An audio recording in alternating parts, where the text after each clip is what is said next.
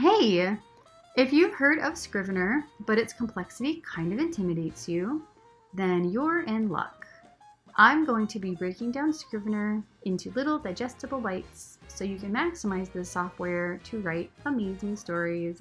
Hey friends, let's talk about Scrivener, specifically today the insert menu. And by talk, I mean I talk and you leave comments down below. Ask me questions or tell me about your favorite Scrivener features.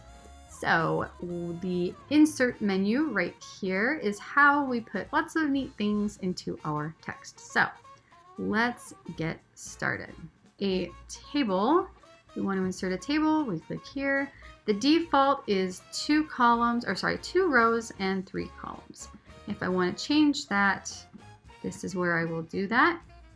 And also from here, I can select what my alignment is within the cells themselves, where the text goes. So if I want everything up at the top or in the middle or down at the bottom, and then I can change the color. Yeah, so I can change the color of the, the outline, the box itself. If I want a background, I can change it in here too to a color fill. And that is how we insert a table. I don't really want the table, so I'm gonna remove table. Okay. a lot of space. All right.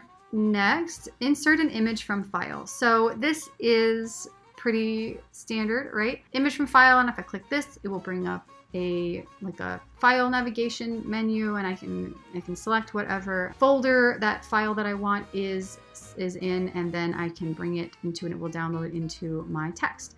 But let's say that I don't really want the whole thing in here like taking up space. I can just link it instead. I can say um, image linked to file and then instead of importing the whole image it will link to one for reference if I want that. So it's not in, it's not making my Scrivener file huge, it's not taking up a bunch of space. Um, that will cause Scrivener to run slower.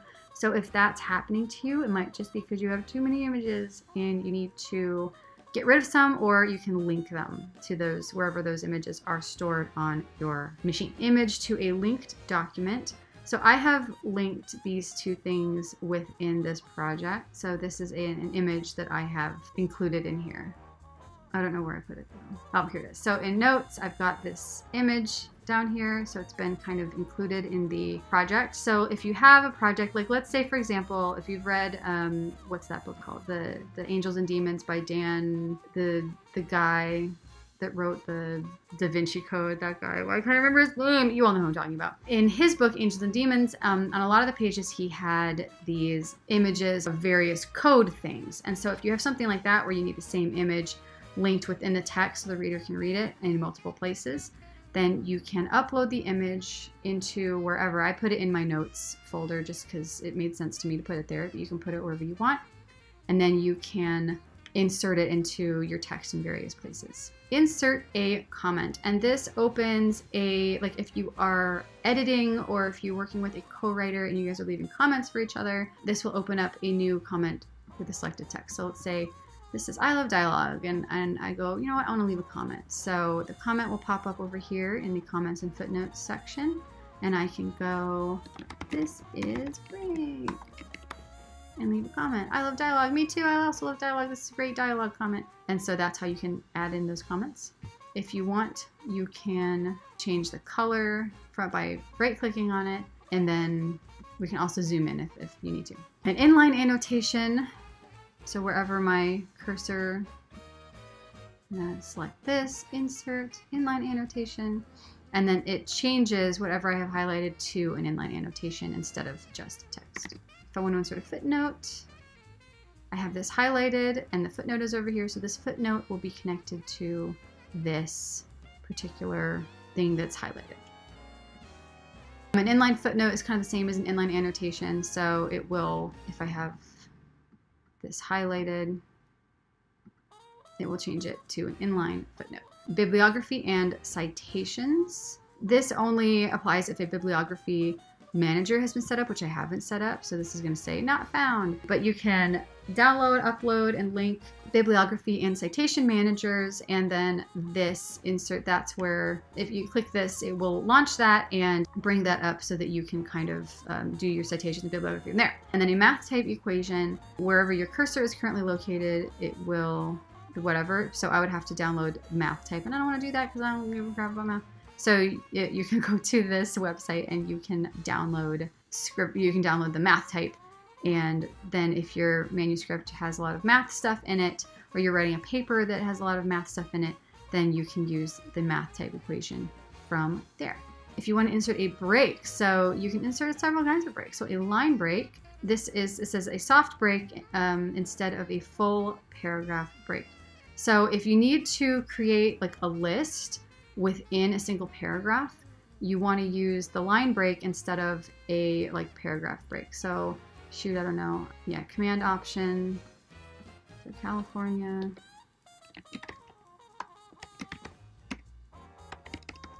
So we'll do command option return.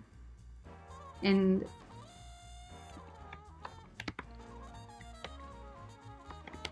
So that was with the command option return with both of those. And if I just hit regular return, it will take me back to the regular indentation.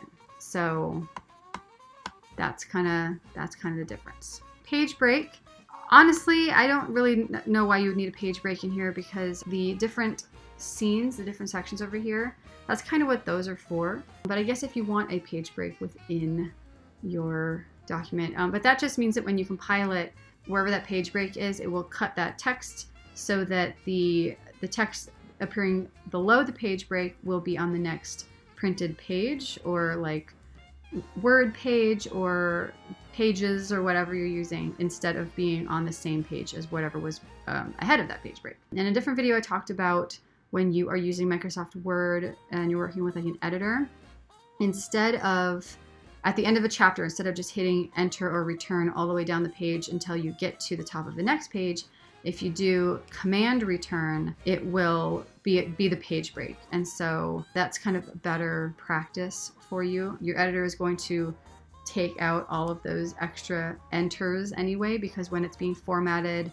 for actual print in the book, they can't have all those extra line breaks, basically all those extra like entered spaces because the back end metadata character things that are in there will disrupt the software that they use to compile that into like a printed book.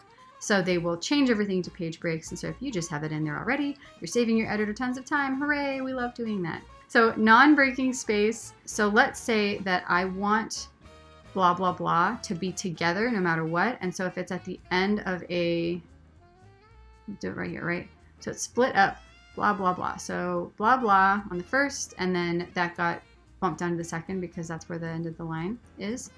But I don't want that to happen. So I'm going to, so, okay, so I'm going to insert a non-breaking space. So now the these two words will not be split apart, even though there's room up here for this second blah.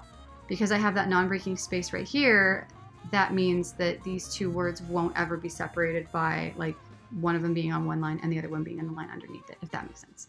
So um, if you have two words that really need to go together that can't be split up, that's what you will use. You'll insert that non-breaking space. And a word joiner is one of those little gremlin words, those little gremlin characters, which acts as a non-breaking space, but it's not a space. So it's like the non-breaking space, except there's not a space involved. So like, um, I'm going to say, now with some some ways that things are set up, if I had like a dash in here, it would change that like that. I don't have it set up in this formatting, but sometimes you can set it up so that in order to prevent like we see all this empty white space over here, in order to prevent that, this would automatically change to like that. So it would divide the word up. But let's say I don't want the word divided up. I want it to stay together, I would insert a word joiner here. And so the word joiner means that this won't split up here, but there's no space, so it doesn't take up any room. This is pretty niche, and this is when you've got like a big special fancy word that you're finding is being split up in an annoying way within your manuscript, and this is how you prevent it. You insert break those non-breaking spaces of the word joiners to keep a word together. All right, horizontal line. If you want to include a horizontal line, this is how you include it. Ta-da! I have a horizontal line. Oh, I split up my word.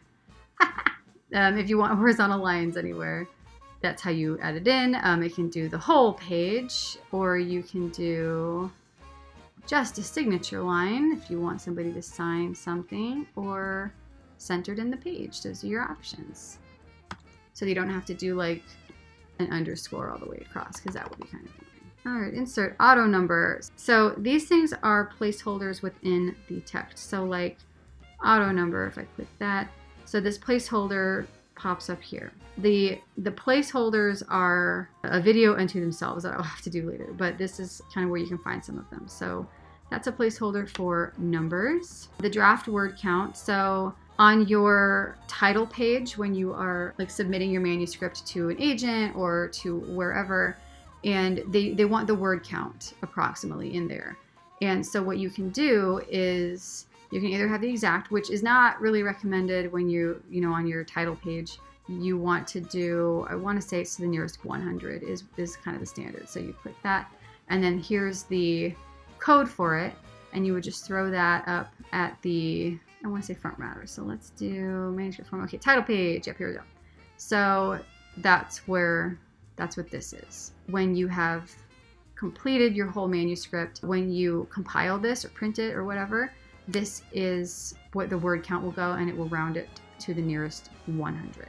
Draft character count. So this was for the word count. This is for the character count. If that is something that you care about, if you want to know how many characters you counted, this individual words, punctuation marks, spaces, that kind of thing, this is what you will estimate to, or you can exact it. So this will add in that code. The endnote marker only works in certain formats. Uh, it works in when you're printing. It works if you are making this a PDF.